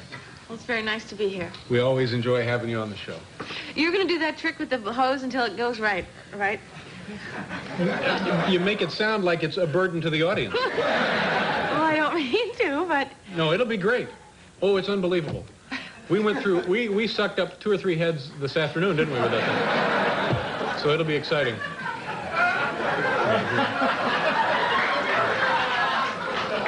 Yeah, okay. Here, I'll take it. Sorry? I'll it, unless you want it later. Teri, Teri, Teri, how you doing? I'm doing okay. Now, the last time you were on the show, uh, remember, the audience voted who they wanted to see first, you or Ruth Westheimer? Mm-hmm. Yeah, and you were, you, uh, You had to bring this up, didn't you? well, yeah, I thought you were a, a terribly good sport about it because the audience selected uh, Ruth to come out first. And I thought that that was very nice of you to, you, you played right along. Well, it was it was fine with me because I, I really don't care whether I'm here or not. now you see, I'm coming off mean again. So I can't, and I pretended like I was really upset, and then people really thought that I was. That you were mean about being here last time? I was. I said, so I wasn't chosen first, huh? Yeah. And then I, I went on that tack. Well, you know what else you did now that you brought it up? You, uh, there was this, uh, the play for television you were going to be in, the, uh, the, uh, um, The uh, Winter of Our Discontent? That's right, John Oh, yeah. Steinbeck, and I said, uh, is that a play? And you said, of course not, stupid. yeah, yeah, you said, no, it's a, it's a famous novel by John Steinbeck, and then you, you made some fun of where I went to college. And so, I remember. It's all coming back to me now. Yeah. Well, I was in an ornery mood, apparently. but you're okay tonight, aren't you? Yes, I am. I've come to prove to the late night world that I am Well- an okay person. Well, uh, we're, as I mentioned, we're happy to have you here. Now, I know that you have, uh, yesterday, of course, was Super Tuesday, and you have some observations on the, on the, uh, on the Democratic campaign so far. What was Super Tuesday? Well, they had they had uh, many many primaries and important I caucuses know. around. I'm only kidding. No, I just happened to watch the um, the debate last Sunday. I know you were out of the country. I was out of the getting country. sunburned, and um, I watched this debate, and I was very frightened for for us all. In in what regard? Well, first of all, you know, there was a cover of Time magazine that said, that had Mondale and Hart, and it said, okay, the race is on. So these guys were there, and they were, you know, ready to fight. And the two of them sat next to each other and actually did start fighting. And they did those kind of smiles that politicians do when they're really very, very angry. They go, Fritz, Fritz, no, you're wrong. Fritz, hold it just a second. I think you're quite wrong. They're, they're raging, Yeah, you know? yeah. Well, this frightens me because I'm thinking, what happens someday if they have like this a, a big decision to make involving a nuclear attack or something, and they suddenly become, you know, they're they're human just like the rest of us. Sure. It made me very, and they got much more involved in, in each other than um, than in the issues, you know. They didn't talk about them. It's a little, well, we'll see what happens. I mean, I guess you can't really say anything about uh, political candidates uh, on the air, can you? I want this guy and I don't want that guy, and this guy's bad and that guy's good. I don't want to say that, but Well, now what what I, the Well- thing that I don't understand is is Walter Mondale. First of all, uh, nothing against Walter Mondale, but do we want a president named Walter? Um, that's true too. you know, that's that's your uh, that's the dean of boys at Broad Ripple High School. His name was Walter. You know. How about Fritz? That's somebody's Yeah. cat. But but is is his campaign slogan now? Is it has he adopted it really? Where's the beef? Is that his slogan? he said that. You know, it's very interesting. Yeah, it's and like they watching. say it over and over and I over. know and they over. tell. That's all the news that he made this joke about. Where's the beef? Yeah, yeah. I don't know. It means he watches commercials, and that's that makes me uh, secure in my country. that My president would be watching commercials. So- I like him though. You know. Yeah. So otherwise, you're doing okay, aren't you? Yes, I am. Now, how's your how's your uh, personal life? Is it all right? Teri, I say, your personal life is it all right? Yes, my personal life is fine. But you know, I, I really don't think I'm going to talk about it anymore because anymore. Who asks? Who cares? Um, Well, no, I just asked. I know you did, and, and all, all kinds of people do, but you know, I saw this publicity about Lillian Gish lately, and she's about 70, 80, something like that. Once you get up there, it's all the same, isn't it? Wait until we get there, of course, then it'll be very important. Anyway, she's an older woman and an actress, and she gets out there, and she, I even saw her in Johnny Carson, and I've read interviews with her. She talks about making films, about acting on the stage, about her career, about people she's worked with, and in all the things I have never heard how many times she's been married, who she who she lived with, what kind. I mean, she's just like a craftsman that did her work, talks about her work, does it, and leaves. I mean, I'm sure there's a price you have to pay for that. You don't get to be on the cover of People magazine because you don't wash your dirty clothes in public, as my mother Mhm. used to say. But I don't want to. I just decided it's not very nice, is it? I mean, it would be better if I talked about. I don't know. I'm gone here. I don't know. Well, then, I'm very sorry. Then let's talk about it. I just don't want to make you unhappy. No.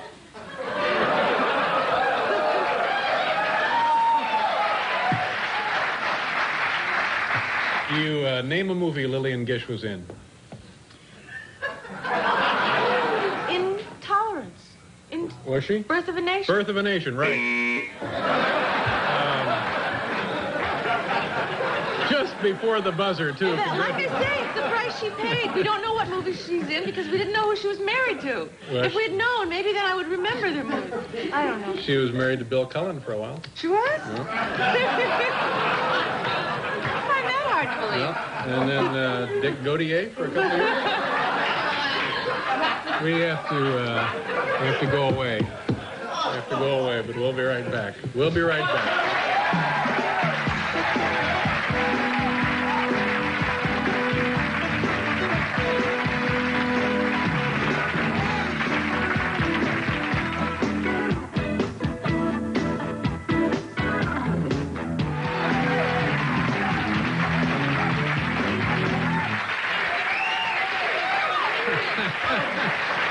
We're back uh, with uh, Teri Garr. Later on the program, Steve Mizerak, Marilyn Sokol is here, and uh, we'll get the uh, the big salad uh, sucking device hooked up, and so give you a chance to wake the kids and get some coffee down them before we uh, turn that on. So how was your how was your uh, deal in uh, Europe? You went over there and you did a film for HBO. How did that turn out? What was that it called? was fabulous. It was called To Catch a King. Yeah. Luckily, well, it's over with now. They show it a couple times and then it's gone. But it may come back to haunt me, like a lot of things. Were have. you not happy with how it turned out? Well, it doesn't really make any sense. I had a good time. I got to go to Portugal, and I shouldn't really say it, but it was a sort of a serious drama, mystery, racing thing about uh, took place with the Nazis and stuff. And the Washington Post said it should have been ti- retitled "Lucy Ricardo meets the Gestapo," or "Oops, a Nazi." I, So it didn't turn out like you had hoped, huh? not exactly. This was you and Robert Wagner? is it? Oh, was he a nice guy? A gem of Yeah. a person. Yeah. Very, very nice. You know, in LA they have these things, uh, not to change subject, you have that big hose. In LA they have these blower machines.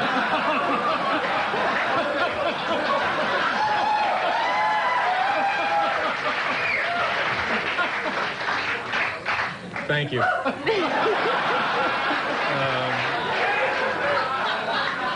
That's not exactly what I meant. now it's going to get worse. Wait. No, it'll be all right. In LA, they have these big uh, machines that these gardeners strap on their back, and they have hoses, and they, they blow the leaves around because we don't have enough rain or water to actually. I don't, I don't know how you. So this guy Phil Garner decided to get two guys together in a room and have a contest with them, but that they they blow each other uh, around the room. it's kind of a. Maybe you could do it with the salad if Is this other joke doesn't work out. Is it uh, just so, sort of sport for the wealthy? Is that what it is? I'm not sure. Yeah, we we the age of technology has gone so far Oh, ahead so that we are now keep up with resorted it, to squirting each other with air. Well, see, now ours ours doesn't blow, it, it inhales, that device inhales. Mhm. Now, t- tell me about singing. You sang in this uh, picture, didn't you? This HBO deal? Sort of. I did sing, yes. I I told them that I could sing when I took the job. And then we went into record. Have you ever tried to sing in a recording Oh, yeah. session? I thought that I was doing so well. And I'm singing. I, I got a right to sing the blues. And they said, would you like to come in the booth and hear one? So I said, sure, I'll come in the booth and hear one. They played it. It was so shocking. Mm-hmm. It was so bad that I did about 12 takes, and they took like one or two words from each take to paste together this little song that You want to try it tonight? You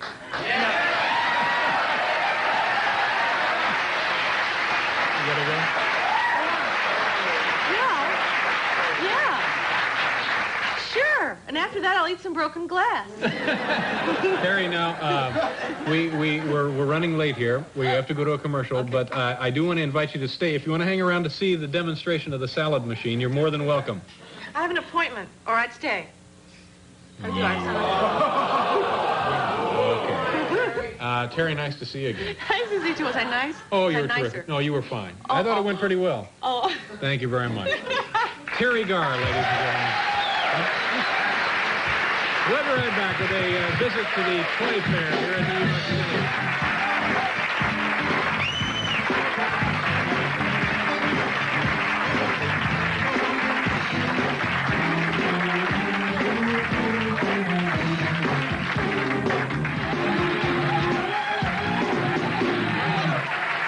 That's right, Perks. Tomorrow night on this program, comedian Rich Hall will be here and we answer our voluminous viewer mail. Later on in this program tonight, Steve Mizerak will be here, a billiards champion, uh, and he's going to play billiards for us. Now, Teri is still here. We, do we have the stuff? Bring, bring in the, the device and some salad and... Do you want to do it? You don't want to do it? You don't. Ha- you can just watch if you want. What was the problem? Do we know what was the matter with the uh, big machine? Had a had a blockage. I, I think we all know how painful that can be. Now, all right, uh, Teri, why don't you just do it? If I were you, I'd start here and work your way to the tomatoes. The tomatoes are unbelievable when those suckers go, and then finish up with some croutons. All right? Are you sure a serious actress would, would Lillian Gish do that? Whoa, be careful. Okay, now wait a minute. It's crimped here. We gotta let me turn it around. Okay, now start with the, the head lettuce here. oh, man. Whoa! Not too much. A little bit. Some green cabbage. Whoa, yeah. Get some more tomatoes. That's, yeah. Oh. Exciting. Very nice. Yeah, that's very nice. Thank you, Carrie. Thank is, you, David. Could be, uh, could be fun at parties, this thing. Teri, thank, thank you very much. Teri Garr, ladies and gentlemen. Teri Garr. Let me see. See, that was. Stay right there. Now, see, that was. That would have been spectacular, right? That was that was just amazing. Thank you very much. Now we want to do this. You're certainly welcome to stay right there, though. Oh, I'm supposed to leave. No, you're not. You can stay right there. No, no. See, a professional can handle it so she doesn't call attention to the mistakes. No, no, you don't have to leave. No, it was not a mistake. We're going to do this now, and then uh, you don't have to leave at all, as a matter of fact. You know, once a year, toy manufacturers and toy buyers from around the country meet here in New York City to display the latest lines of playthings for children. Some are educational, some are just loud and dangerous. Well, they were all there, and tonight we're going to take a visit to the New York City Toy Fair. Okay, Michelle, uh, what is this deal here, this thing right here? All right, this is our Ferris wheel.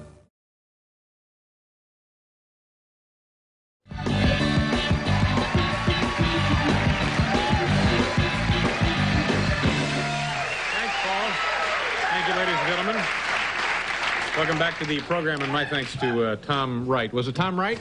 Thank you, Tom, very much for your help. And I'm awfully sorry. We had actually uh, anticipated, uh, we knew for a fact we were going to talk to this man, and uh, the phone is still ringing, so if we ever get through to him down there, we'll at least uh, say hello to him and thank him. But uh, no cigar for Gustavo this time. Uh, Paul, how are you? You all right? Swinging tonight. Having a nice summer? Are you having a good summer? I'm having, yeah, kind of a wildwood summer, I would say. Now, It's what does that mean exactly? When, what, what exactly does that mean? Well, it's like this. Uh, baby, you be mine. Cause it's twisting time. That's the kind of a thing. Wildwood days. you that's-? Okay, Paul's having a wildwood summer. Well, my first guest tonight. This woman is a talented actress. She was recently, well, not recently, a year ago, she was nominated for an Academy Award for her work in the film Tootsie, and her latest film is Firstborn, which will be released when? Soon. Please welcome back Teri Garr.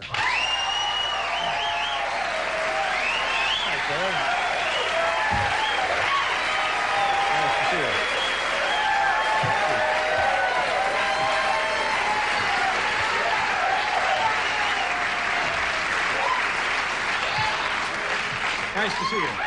You look great. That's a beautiful dress. That's a very summery dress, isn't it? Thank you. You look very comfortable. Are you having a nice summer? Yeah, I'm having a pretty nice summer. What are you doing?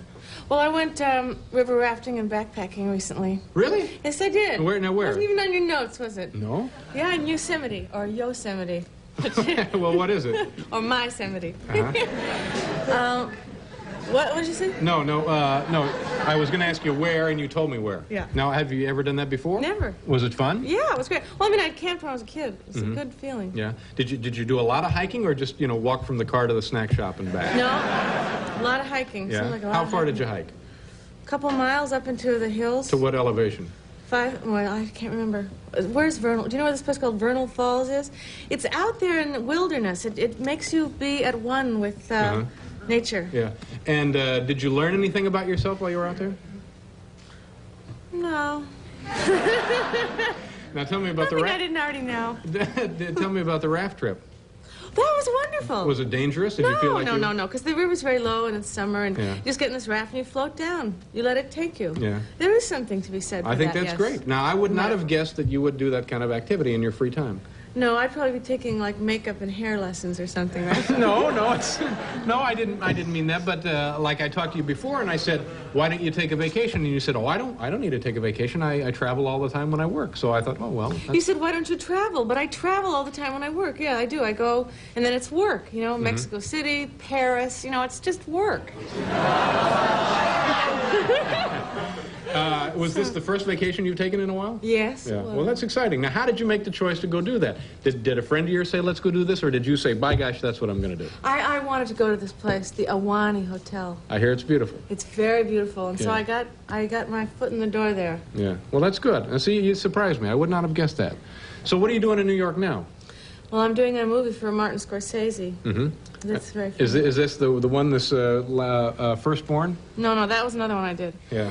Boy, I'm doing three in a row. I'm doing a lot. Yeah. This one I'm pl- I'm doing. Uh, I'm playing a cocktail waitress that's sort of freeze dried in the '60s, and I have my hair in a beehive, and I wear go-go boots and stuff like that. It's kind of my look. Yeah. I like it. And then at, at, at one point, a bee actually flies out of my hair, out of my beehive. That's cute. Thank you. Yeah. Uh, what, what is the uh, what is the movie about? I'm not sure. Well, it's about the perils of New York. It's, it all takes place in one night, and it's this guy that just can't get home. You know how it is in New York. You, you don't know? You just can't get home? Well, sometimes, you know, things happen. You can walk down the street, and a lot of things just happen, and you can't believe it. At the end of a day, like six incredible things have happened. Yeah. So they're putting it all into a movie, and people still won't believe it, I bet. Okay. But it's very funny. Now, what, what about Firstborn? What's that about? Oh, I don't know. Well, it's it's a very, it's a very serious. I play a, a mother for a change, of two kids. But How many times have you been a mother I in films? I've lost count. Now let's count them up. Mr. Mom. Okay. You were a mother. Yeah. Uh, Close Encounters. You were a mother. yeah. Uh, Black oh, Stallion. Black Stallion. You were a mother. Wh- Mhm. What about Oh God? Were you? Yeah, it was, Were you were a yeah, mother in that? So how many of that? Is that That's four, four mothers? Four. five, yeah. What about uh, uh, uh, Star Wars? You, you weren't in that, were you? I'm not sure. At least a half a dozen. Yeah. Well, you. and maybe maybe one day you'll be a mother. You're not a mother, are I you? hope so. Yeah, you look forward to that? Yes, I Well, do. I, I hope so too. We uh, well, look. I won this guy's uh, sunglasses. That don't make me nervous. Well, those are nice. Those are nice. Slip Very those on. We've. Uh, Can I conduct the rest of the interview with yeah, this? if you like, sure. Will people take me seriously? It's a good look. I Very like that. Yeah. We got to do a commercial, uh, but then we'll be back, and we have plenty more time to talk about all kinds of wonderful things. We'll be right back with Teri. Guy.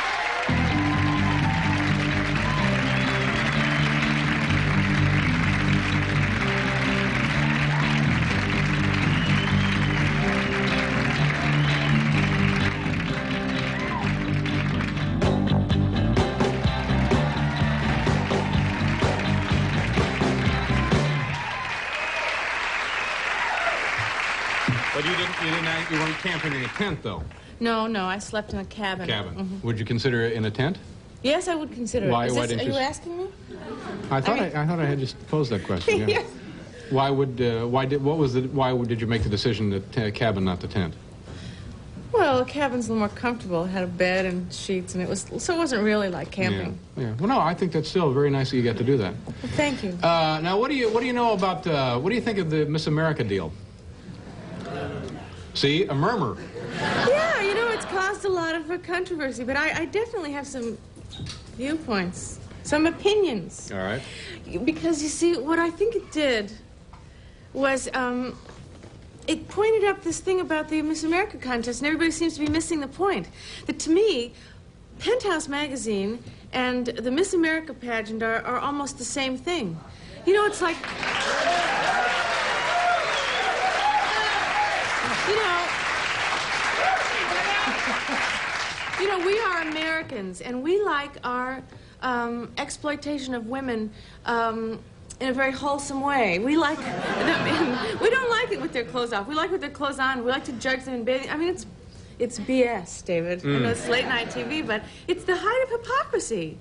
I mean, I'm sure this this woman, and I, I, I can't. I feel sorry for her, but I also defend her in a way because I think women are really never taught how to compete. So we don't, you know, if you you're sort of subliminally taught when you're little, you either become Mrs. Somebody, or if you want to go out there in the world, you got you got to try a lot of stuff because it's real hard for a woman. Mm-hmm. Men are taught to go play football and basketball, and there's rules, and you compete, and there's war, and there's territory. But women are taught to go, oh, where'd you get your shoes? I mean, it's not, it's, they're not taught how to compete. So that this girl, you know, she's a victim. All right, so it's not very good. But Well, no, I see. I, I generally agree with you, and I think probably one day the, the Miss America pageant will be conducted in the nude, the whole thing. It's my.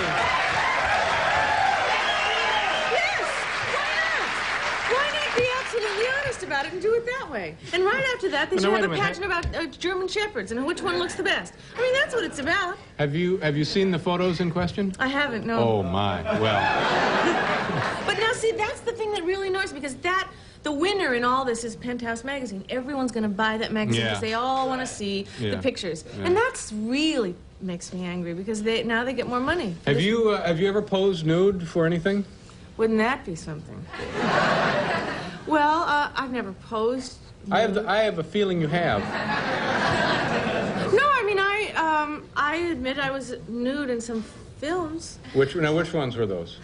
Are you gonna drag him out now? Mr. Mom, the Black Stallion. But I think it's different to be in, in a film.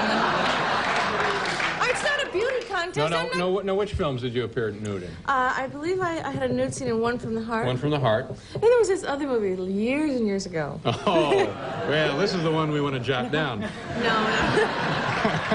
What uh, what was that one? I think it was called The Moonshine War or something. Moonshine Wars. I don't remember. Well, that, it's but- no, it was a stupid movie. And as that a matter cassette, of fact, you know? my, the nude scene, the nude scene that I was in was cut. It sizzled holes in the cutting room floor. Now, how did you feel about that? Because, of course, that's just the same sort of exploitation that you're uh, uh, condemning the Miss America Well, pageant for uh, pandering to. No, it is not. It is oh, not. because- absolutely. They they get uh, they get a, a dolly in the film, and they say, you know, it'd be really nice uh, if you could take your clothes off here, and, then and they're going to sell more tickets. It's the same reason that they sold more magazines. No, I don't think so. I think it's a different context. I really think it's a, a, a- thank you. I think it's exploiting women. It's It cheap was- applause. You can't say thank you when you get a little. No, I, I can't. Because I think it's little by little, the inroads we make, and maybe a few people will, the wheels will turn and they will say, yeah, people should be treated equally. And Okay, that no- no- these people are exposing women and they I mean, exploiting them. Right, but okay, but you don't feel exploited having undressed on film. But now, would you undress for uh, Penthouse or another magazine? No. Now, what's the difference? Because in those magazines, uh, they just they think that women's bodies are to be photo when they're young and stuff. But as soon as you get a wrinkle or old, you know, you throw them out the window. These women and get new ones. And what if they're still alive? You know, and you still have some thoughts and some feelings. Well, you're no good anymore. What we're seeing in these magazines is. You know, this is what we're. It's purely for uh, you know men to look at, and then they they have those um, interviews with the girls, and they're all so stupid. You know, my favorite singer is Barry Manilow. I mean, they don't have anything about.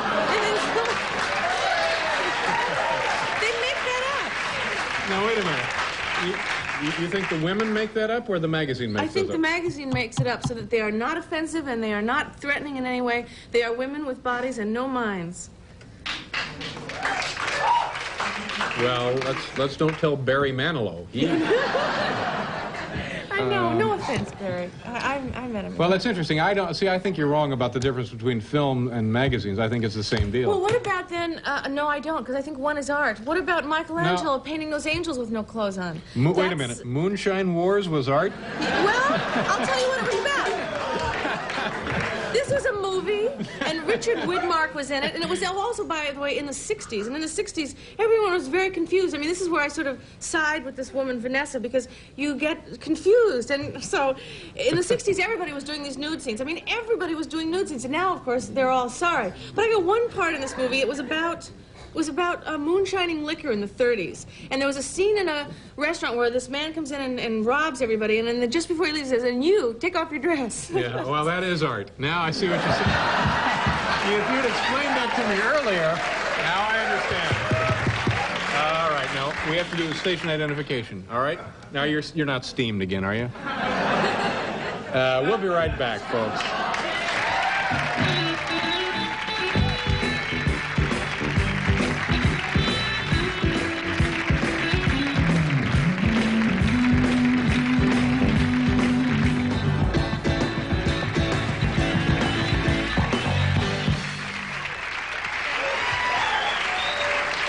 Hi there. Tomorrow on this program, uh, Glenn Frey, who used to be with what group, Teri? The Eagles Premier America's premier rock and roll band. from California. That's right. Glenn Frey will be here. Also, comedian Steven Wright.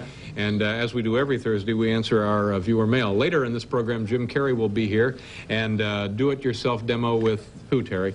Johnny Blackwell. That's right. He, he used to be with the Eagles, too. Did he? Yeah, it's a little known fact. Hmm, I thought he was with the frogs. no, no. Now, uh, I was surprised to learn this afternoon that you attended uh, an, an event here in New York City that we've covered about four, three or four times. Small world, isn't it? Mhm. That we both were interested in this. Yeah, the Inventors Exposition. Mhm. Now, why did you go down there? Because I like to see what people think up and stuff like that. And also, my favorite aunt when I was a kid used to invent things. Yeah, what did she invent? Well, she invented a lot of things. She invented um, onion glasses. Yeah, You know, when you slice onions, they were like goggles with um, terry cloth around them. So that you put them on and look like you're racing through your kitchen Mhm. and chopping up onions. So you wouldn't cry from the Yeah. onions? Yeah. Now, do you know why you cry when you slice onions? Because it's very sad. no, why, David? I don't know. You don't know? No. Because the fumes from the onions. Well, I know that, but I mean, what, what, what is the chemical makeup of the fumes that activates the tear ducts? Who cares? I think it's a much better concept to say. See, now I'm afraid to talk like this because it's going to negate everything I said before. I think it's a much better concept to say that maybe that onion was something else in another life, and that when you slice it up, it's like comes back at you and Yeah. Yeah. makes you cry. Okay, so know, what else did, night. what, what, is, what was your aunt's name? Or what is her name? Her name was Grace. She's up in the. Oh, uh, inventing upstairs Yes, now, I she think. is. Um, and what else did she invent? She invented um, a, a, a chair to take to the beach. hmm She called it. Wait a minute. Chair to take to the beach. People have been taking chairs to the beach for hundreds. Well, she invented it. The chair you take to the beach. What now? Is there something special about it? Well, yes, you could uh, make it sit up or lay down. You could put drinks on the side. You can carry umbrellas. You could put the umbrella up. You could put the umbrella Oh, down. kind of like a multi-purpose Yes, but the best part about it was that she named it the Silly Saps Seaside Sunseat. Oh. That's not really the best part. No, but it's we all had a great time thinking of Yeah. that name. Did did it uh, sell? Did she sell any of these glasses well, or no, chairs? she never got any of these inventions uh, as far as the patent office. No, But you know why? no. Because she was a woman and she was scared. Well, that's- you're we go- probably we go, right. back to the same theme. You're probably right. You're probably right. Uh, no, that's not good, is it? oh. She could have done it if she tried. Is that? Excuse me, just a second. We have the Cuban on the phone. Yes. All right.